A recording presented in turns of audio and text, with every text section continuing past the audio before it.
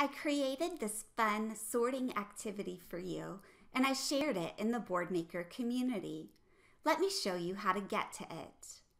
From the Boardmaker 7 dashboard, select Community. You could also log in to myboardmaker.com with your username and password to get to this screen. Click the magnifying glass. Search for egghead sorting. This first one's the one that I made. Click the thumbnail. Now you'll see a bigger version.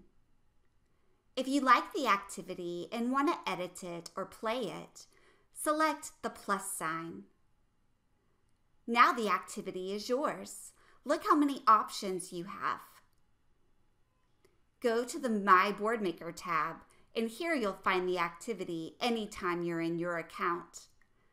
Just use the tools to play, edit, and assign this activity.